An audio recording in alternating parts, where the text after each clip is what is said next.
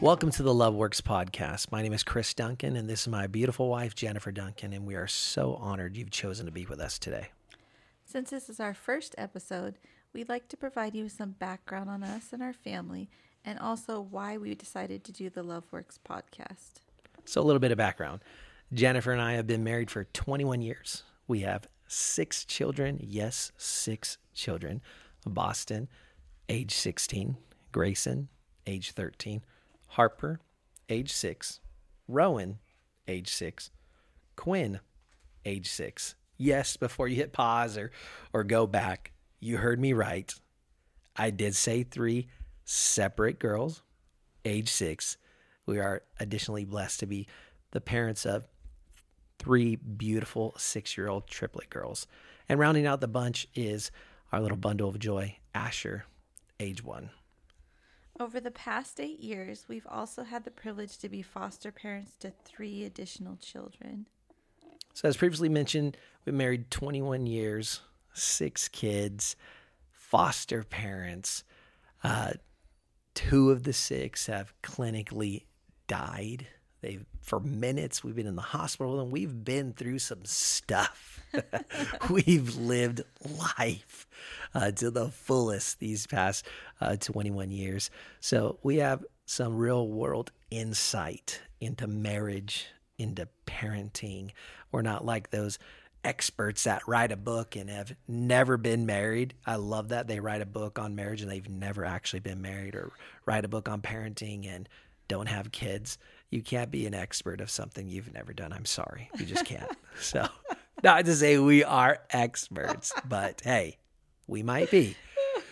So, over these past 21 years, not only six kids, foster parenting, but we've had the added blessing of being in ministry together. We've held numerous uh, roles or titles. We've worked in Sunday school, uh, kids' church, uh, Kids Zone, Knights of Rushing Wind. We've Princess Protection. We've done a lot of that. Uh, singles, uh, young marrieds, and we currently serve as the assistant pastor at our local church here, Rushing Wind, the greatest church on earth, under senior pastor Sean Manzano. And part of our uh, duties uh, that we have, I don't want duties. I don't know if that's the right word. that sounds so formal. Uh, but part of what we get to do, some of the blessing things that we get to do in ministry is um, we help with the premarital counseling.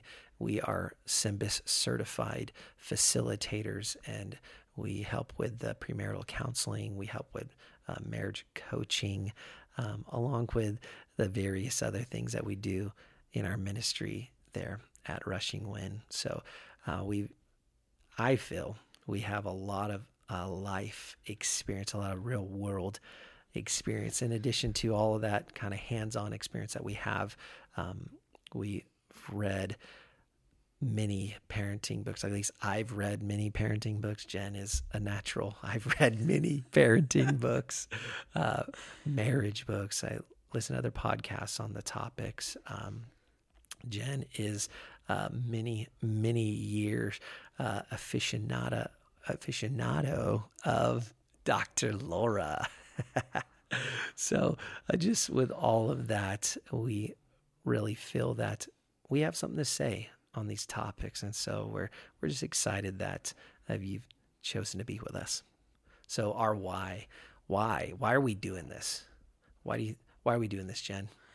Well, recently uh, in our role as marriage coaches and um, doing some of the premarital counseling, we've seen a need for, um, especially our young marrieds, um, at just having some real world advice and and seeing some uh, biblical examples of of families and parenting and um, love and marriage and all these things. And we just wanted to make sure that we were uh, providing them with something um, on a bigger scale because it's hard to be able to have enough time to sit down with each and every person and share things with them. So we wanted to find a way that we could share things with these young couples and even some of our uh, older couples that maybe could help them. And, you know, along with uh, Chris was talking about all of our, you know, qualifications or whatever.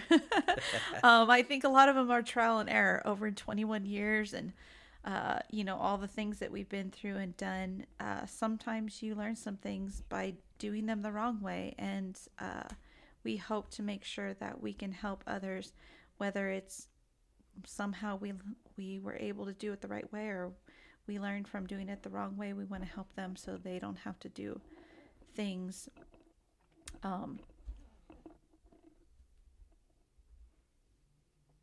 Sorry, I'm waving my hands at Jen because she keeps like rattling the cord and I can hear it. So that's why she stopped talking. It's driving me crazy. It's Just all She's, uh, we'll just say this right now. She's a perfectionist. It's all wrinkled. She's trying to straighten out a cord I'm that, sorry. yes, Sorry. it's okay.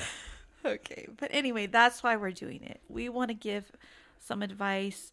We want to help others um, to have the uh, amazing marriage, the the family, to have the uh, tools that they need to get them through the day and and to have the most fulfilling family and marriage that they can. So good. And, and my why, why are we doing this? Because we're the best. this is going to be the best Oh podcast. I'm just kidding. no, um, we've actually felt, or I have felt like we should do a podcast for a long time. However, I am the person in the marriage that I think of something and I'm like, let's go, let's do it, boom. And I start diving in. I don't fully think about everything. Jen fully thinks about everything. So uh, it was no for a while, but uh, I'm going to get a little spiritual for just a moment because part of it is, right? We're going to talk about faith. Um, about a month or two ago, uh, I was getting ready for church one morning. I was thinking about some of our young couples. I really felt uh, a burden for them, you know, ironing my clothes, praying for them. And I felt like God told me, it's time to do a podcast. And immediately, Love Works came into my mind. And I thought, that's going to be our podcast. That's going to be the, the name of our podcast. And I put in my phone, and it was like 8 25 or something like that in the morning. Didn't say anything to Jen because if you're in our house on Sunday morning with six kids, two adults, three dogs, a partridge in a pear tree, a lot is happening. And so it's just chaos. Uh, so we, we go to church. We're having an amazing service. The Lord is moving. And I look over and I see Jen. We lock eyes and I walk over to her and I said, Man, I just have such a, a burden for our young marrieds. And Jen looks at me and says, We need to do a podcast. And I, no way. I'm like, I felt God told me the same thing. So that's really our why, why we're doing it now, because I, I think it's time. And so we're going to have a blast doing this. So, when are we going to be releasing our episodes? They're going to be every other week, bi weekly. They should be released on Thursdays. So, we're recording now. I'll get to editing. And then, so by the first Thursday in October, our first one will be released. And then uh, bi weekly after that. In this podcast, we'll be addressing topics that pertain to marriage, family, and faith. What do we mean by faith? Well, as Christians, we always strive to have our outlook, our opinions, and really everything in our lives directed by the Word of God. If you have any questions for us or topics you want us to discuss, there are a number of ways you can reach out. And remember, everything's always uh, anonymous. We'll never tell uh, or uh, give out any names of, of where we're getting these from. Unless it's really terrible, then I'm, I'm absolutely going to use your name. Just kidding. I won't let him, I promise. Uh, the first way you can reach out to us, probably the easiest, is text. Text your questions or topics to 747 322 1089. You can also call and leave a voicemail at that number. Again, it's 747 322 1089. And you can email us at loveworkspodcast at gmail.com. Awesome. So those are the three ways that you can get a hold of us. Um, and at some point, I'm sure we'll have some type of social media footprint, um, Instagram or whatever the the cool kids are on nowadays. MySpace, I think. No, we won't be on it if the cool yeah, kids are on there. never mind. We won't be on it. We're not cool. So, our first episode, what are we going to talk about? We're going to dive into the deep end today. Our show today is going to be what is love? What is love? And I'll be referencing um, some topics, some things out of the SYMBIS book uh, that we read uh, as we were uh, training and, and getting ready to become uh, certified facilitators. So, not everything I'll say is going to be an original thought. Most of it will be because I'm just that sharp. But, uh, so many lies. oh, I should, well, I didn't say we weren't going to lie on this podcast.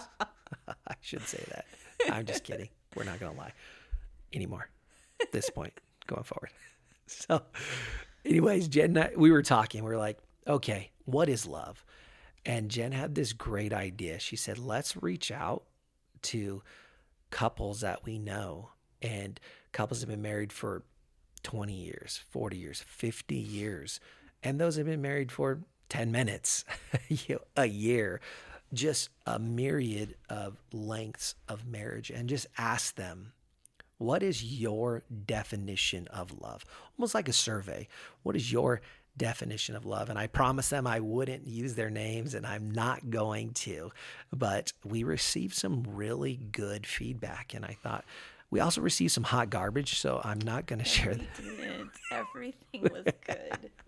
no, everything was was great. Um, but there was a few that I, I, would like to share. So I'm going to read a couple that we did receive. Uh, one of we received was their definition of love was the greatest conqueror. Another one uh, that we received is um, I think love is waking up every day and choosing each other all the time over everything, no matter what the circumstances, making the conscious choice to love each other. I love that one. I love that one. uh, another one that we received that just stood out to me is love is a strong emotional bond that places someone else before you. It's also a selfless choice made daily to care for and protect the people important to you. Another one that was shared was compassion, commitment, and trust in every season. I love that one. In every season, life's going to happen there's going to be the the honeymoon stage and then there's going to be the stages where you know you try to think of where you can bury their body. Just kidding. You should not have those stages. If you do you need to see. You need to see a professional. You need to see a professional. Quit listening right now. Just go see a professional. turn off the podcast. Go see a professional. Okay. Uh, uh, one last one that i'd like to share is love is giving all to your spouse and always growing together through the good and the difficult times. Jen, was there any that kind of jumped out to you or anything that you'd like to add with regards to that? Um, I think like one thing we we wanted to do going into this is just see if there was like a common theme that everyone that we surveyed had in their responses. And and the common theme I saw throughout all the responses was um, commitment, enduring love. Um, I think that's so critical. It's waking up every single day and committing to your vows all over again. It's saying, I do every day to sickness, health, wealth, not wealth, all those things. I'm it's, big on the not wealth. it's, it's, it's saying that and, and keeping to your vows every single day. I think that's super important. And I love that that theme kind of ran through all these responses. It really did, and and that was really awesome to see. We have some really cool friends and family and people that we're uh, uh, connected to. So thank you to everybody out there that helped us out uh, that answered our little survey. So, what is love? Love is is kind of a paradox. It's a mixture of opposites, right? Let me explain that a little bit. So, uh, love includes affection and anger, excitement and boredom, stability and change, restrictions and freedom. Love's ultimate paradox is two separate people coming together as one, yet remaining two. What a what a paradox! And over the years, uh, people have tried to explain love in poems and songs, and I'm just gonna say every single time I think of love, that song, you know, what's love got to do? Got to do with it. I don't even know who sings it. I I want to say Diana Ross. We're getting hit with copyright on the first. Yes, episode. I do not own the rights to that song. Please don't sue me. Uh, I don't know why, but that that song. You didn't know that you're gonna get singing in this podcast. You are. You're gonna get some comedy, some singing. It's multifaceted. I'm just kidding. I promise I won't sing again. Please don't stop listening. We need you. We are totally expecting to reach tens and tens of people with this podcast. So, but uh, but over the years, people like in the scientific area, they didn't want to like touch love. They didn't want to get there because it, they everyone's like, oh, it's ooey gooey, it's it's feelings and all this. But uh, there's a professor at the University of Yale, uh, Robert Sternberg. He's a psychologist, and he pioneered or developed a scientific model of love. And we're going to talk about that for a little bit because when I read it and started looking into it, I thought, man, this is really good. And it, it puts it into, I don't know, practical terms, practical verbiage uh, that we could talk about and really kind of get some tools um, to really find out what love is and to to really make sure that our love grows in our relationship. So, if you will, uh, he, Robert Sternberg, he developed what was called the triangle model of love, triangular model of love. Jen just shook her head. No, not triangle, triangular model of love. Uh, so, if you've seen a triangle, you know, in kindergarten, the best four years of your life, a triangle has three sides. So, with the triangle of love or the triangular model of love, we have passion, intimacy, and commitment. So we're going to start with passion. Passion is, I'm give it a really like scientific term here, the hubba hubba of love. Just kidding. Uh, passion is the biological side of the triangle. It's that that spine tingly sensation that moves us towards romance. It's that first time I seen Jen walk into our church in El Cajon and she was wearing a leather skirt and I was like, "Holy moly. Come on, Jesus." she hates when I say that and I will say it to the day I die passion though passion i was like I, I, need to get to know her much more better. And so the passion it, it starts with our hormones. Passion is a sensation uh, characterized by uh, psychological or physiological arousal and, and, and an intense desire uh, physical affection physical attraction. But we can't just have passion. Uh, there's going to come times in your relationship, in your marriage, where passion will wane. The honeymoon stage will will end. Uh, that is a term that's used amongst marriage counselors and and um, people in the in that field, marriage and family. They talk about that honeymoon stage, and and in that honeymoon stage, passion is extremely high. You should always have passion in your marriage, and, and we'll talk about that, but it can't only be passion. Jen, you want to you want to add anything there? What comes to mind when we're talking about at least this side of the triangle? Um, I, I think it's just really important to remember that um, while our relationships always usually start with passion, it's important that we have uh, other factors, and we'll go into those later on in the podcast. But uh, passion doesn't have, even though it wanes, it doesn't have to stay in that waning area. If yes. that makes sense. And So, should never go away. yes, You have yes. to always have passion. I'm not saying So, yes. get rid of the passion. No. That's that's not what I'm saying. but uh, in life, you know, we go through ups and downs. We have feelings. We don't have feelings. Passion, like we stated before, it's the biological. It's the the feeling of of intense love and intense emotion for someone, and and you're not going to wake up every day feeling that. That's just the the facts of of life and being in in relationships. You're not going to wake up feeling like I want to kiss their face off every single day. Some days you don't want to kiss them. Especially with that funky morning breath. Back up. I have zero funky morning breath, but She does. we'll go there. I- but yeah. So I think it's really important that I think in our society, people can get so caught up in the passion phase and they feel when that wanes or when that starts to um, kind of decline, oh, I'm not in love anymore. And as we go through this, we'll understand more about what truly love is. Love is not one thing, it's a combination of things that makes love enduring, that makes love that will last.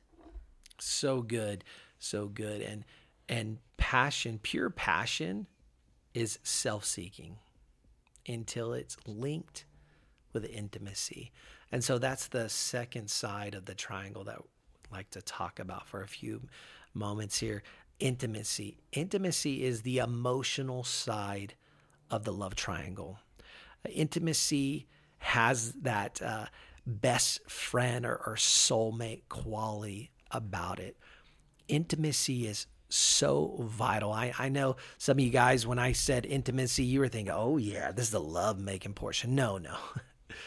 what we're talking about with this intimacy is the emotional side, the getting to know your spouse, getting to know that person. Everybody wants to know and be known. And in a marriage, in the the type of marriage that God wants you to have, it should be full of intimacy. It should be full of that getting to really know your spouse, really getting to know them, getting to that that part where there's nothing to be hidden. There's nothing to be held back. There's the communication, the talking, the sharing. I read um, a quote, and I don't remember who who said it. It's not original to me, but it was talking about communication. It said the uh, the fallacy with communication is that it's happened. So a lot of times people are talking and they think they're communicating, but the person they're talking to is not understanding or receiving anything that is being said and and for true love to to to be had and to be ha, have a longevity in your marriage you need to have that intimacy that getting to know each other that not holding anything back That's true. Intimacy, I think, is in its purest form vulnerability. And I think that's so hard sometimes for some people because we we have walls, we we want to be looked at a certain way, we want our spouse to see us a certain way. We don't want to to ruin that uh, perfect picture that they had when they uh, passionately fell in love with us. But if you can't be vulnerable with your spouse, if you can't open up to them and share with them everything that you are and everything that makes you who you are, it is impossible to have true intimacy in your relationship. Um, you you can't, it, you know, you see these people who they they go to work and talk about their their problems, or they'll they'll go to uh, friends and talk about their problems, but they don't want to talk to their spouse about their problems, and it's always an issue. if you can't talk to your spouse, if you can't be open and honest with your spouse, if you can't be vulnerable, then intimacy cannot be had in your relationship. That is so true. And and I'm gonna speak to the men right now. You have to be vulnerable with your spouse.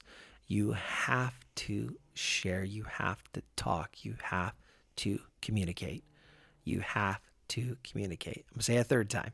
You have to communicate. Um, I was listening to another podcast today, and I've heard this many times, but I, they say on average, you know, average men, you know, use 7,000 words a day. And I believe the number for women was like 20,000. And so they're saying, you know, men, women talk more than men. And I, I know I say more than 7,000 words a day. I make a living with my words and I use a lot of words. I use more words than Jen. Uh, that is true. There's eight people in this house, and I may use more words than anybody in this house. And that is saying something. Maybe Harper. well, yeah, Harper. Yes. Okay. Harper does use probably 200,000 words a day. So, but back to you, men. Use your words, real words, not these random thoughts of, hey, did you see who got traded to? No, no. Talk with your spouse, share with her, let her know really when she's asking you about something, really let her in and be vulnerable. We don't want to be vulnerable. Men so often it, we we think it shows weakness if we're vulnerable. That's not true. And if you want your marriage to be everything that God wants it to be, which is the greatest thing on the face of this earth, you have to have vulnerability and you have to have the intimacy of getting to know your spouse, getting to know each other. Just think back to if you're older, like us, um, in our 40s, when we were kids, we had these things called phones in your house. They they, didn't go anywhere. They, they like stayed in the house. There was wires and they you couldn't take them anywhere. My kids have never seen one before. But you just think back to you when you started maybe even dating your spouse and you would get on that phone and you would talk most of the time about nothing and then somebody would hop on and be like i'm on the phone and if you had a sibling they would pretend to hang up so they could try to listen on your conversation and yeah. Uh, and, good times. yes, good times. and then you hear the beep beep call waiting, like somebody else is trying to beep. But you spent hours on that phone. You would some of you would fall asleep on that phone. Just you'd run out of words and you would just fall asleep listening to each other. That was the intimacy. That was the the getting to know each other. Unfortunately, sometimes people when they get married, they think, all right, we're married now. We made it. I don't have to do that anymore. I don't have to work on that anymore. And you're dead wrong. You're absolutely dead wrong. Because if you want your marriage to be, like I said, what God wants it to be, the greatest thing on earth, and you want true love in your marriage, you have to have the intimacy. You need to have the passion. You absolutely have to have passion. But you definitely need to have intimacy. The fulfillment of the fulfillment, I'm sorry, the fulfillment of love hinges on closeness, sharing, communication, honesty, and support. As one heart given in exchange for another, marriage provides the deepest and most radical expression of intimacy. We've got to have it. And the third and final side of the, the love triangle is commitment. Yes, I said commitment. I know in today's day, uh, commitment can be like a curse word. Uh, but commitment, commitment is the cognitive and willful side of the love triangle. Commitment looks toward a future that cannot be seen and promises to be there until death. Jen, what do you have to say about commitment. And if you hear snoring in the background, I'm going to tell you right now, that's one of our dogs. We have Frenchies. They are the loudest dogs ever. If you want one, message me. You can have it. Yeah, the snoring's not me, I promise. um, uh, commitment, I, I think sometimes people can can think this is like maybe the most important one and it is vitally important but i don't think any of these are more important than one or the other they all have to be working uh, in with each other but commitment is the one that will keep you through everything when the passion wanes when uh, life happens and you don't have the words to even talk to your spouse to even know what to say uh, commitment is the one thing that's going to keep you going. All these things are tied together, and it's so important that uh, we try to make sure that we are what's the word I'm looking for? That we are I I guess it's there. The it's the cognitive part of it. It's something that we actually have to wake up every day and set out to be committed. It's not something that's that some people come to naturally. Um, it's so easy nowadays. We're not committed to anything, right? We're not committed to uh, our jobs. We're not committed to our gyms. We're not committed to. Some people aren't committed to anything. Their kids. I mean, everything seems like it's a, a, a like a temporary thing, you know. And once it doesn't make us feel good, we can just get rid of it. But commitment is in a marriage is not something you can just get rid of when you don't feel it, when you're not feeling the passion, when you're not feeling close to your spouse. Commitment keeps you through everything, no matter what happens in your marriage. When you were talking about that uh, commitment uh, and people, they're not committed to to most anything nowadays. I thought of apps now or subscriptions that you can get. Uh, I have this new app. Um, it's called, uh, no, I can't even think of it. I think it's called Structured.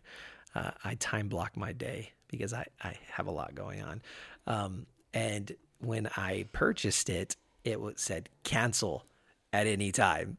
And now, whenever you purchase a subscription or, or anything like that, there's always that cancel at any time. It used to be you got a gym membership, you had to like write a letter and go in and my word, it was you might as well just change your bank because you're gonna that's gonna be easier than canceling your gym membership. Um, nowadays, uh, you can you can do a seven day free trial and and cancel and then just keep doing that. But in marriage and having a fulfilled marriage, commitment is key commitment is I love you because you are you, not because of what you do or, or how I feel.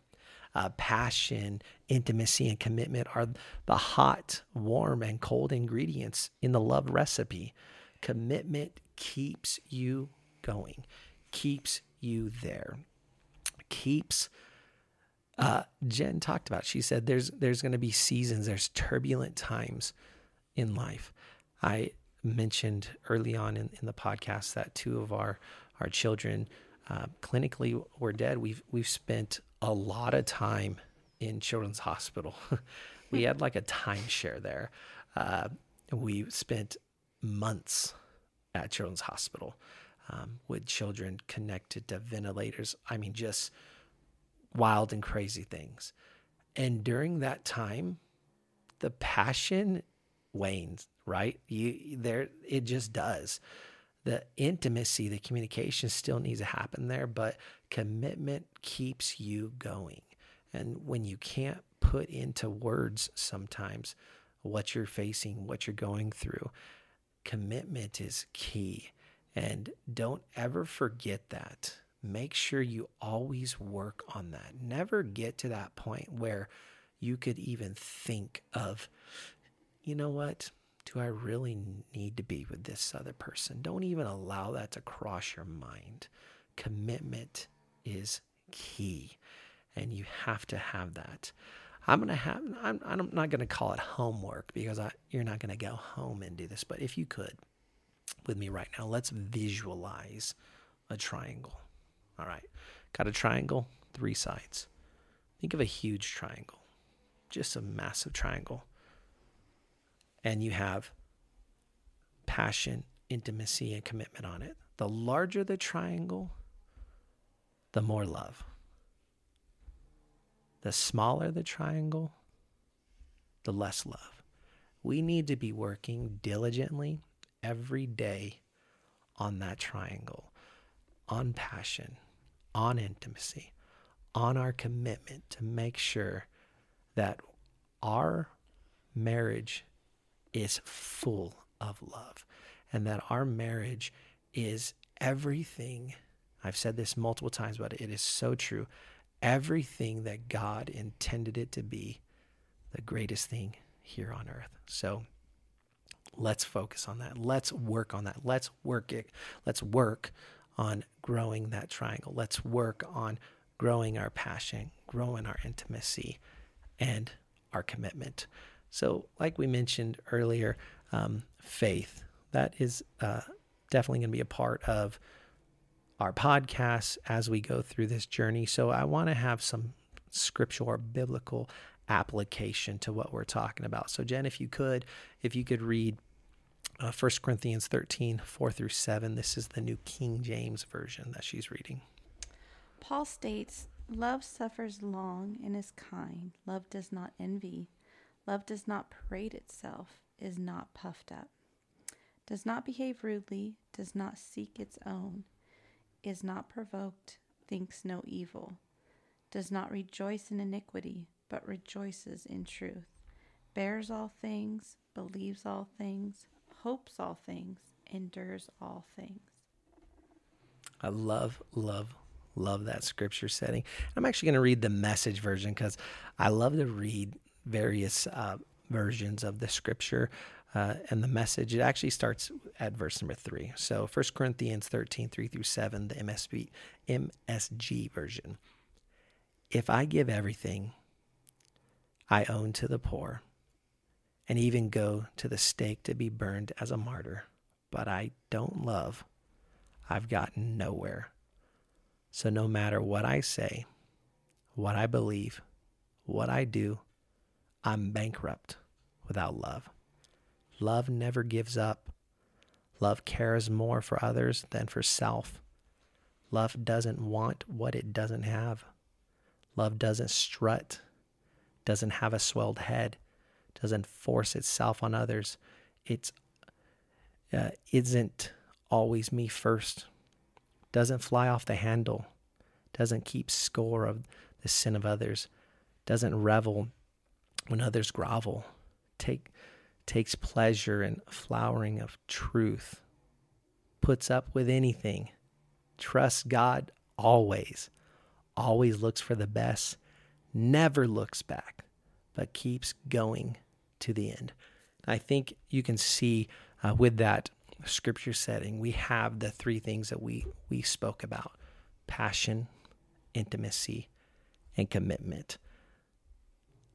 I hope you've enjoyed this episode today, and, and I hope it's helped you to kind of put into words, maybe giving you some tools on to help you with what love is and, and how to grow it in your marriage, grow it in your relationships. Um, now that we know what love is, our, our next episode in a couple weeks, what we're going to go into is how love is given. How love is given. Well, that's the time that we have today. Please subscribe, like, comment, share. We love to hear from you. Uh, like I said, we're looking to reach tens and tens of people. Hopefully, a lot more than that. But please, again, subscribe, like, comment, share. And as Jen said earlier, we love to hear from you. If you'd like to send us a uh, questions or topics that you would like us to discuss. We'll never share your information. We'll never say who this came from. Uh, you can call or text the show at 747 322 1089. That's 747 322 1089. Or you can email us at loveworkspodcast at gmail.com. Well, I'd like to close in prayer real quick. So if you would, let's go before the Lord. Dear Lord, we thank you for this opportunity, Lord, to just have this time together to talk and to, to share what love is. Lord, I pray that you help us, Lord, work each and every day on our passion, the intimacy, and our commitment in our marriage, in our relationships, because we know the scripture tells us that God is love, and we want to make sure that we are loving to the fullest of our capabilities. Lord, we thank you again for this opportunity to share. Lord, I pray that this has blessed someone. Lord, keep your hand upon each and every person that listen to this and whenever and wherever they listen to it. Lord, we thank you. We praise you in the name that is above every name. In Jesus' name we pray. And everybody, as always, remember love works. So let's get to work.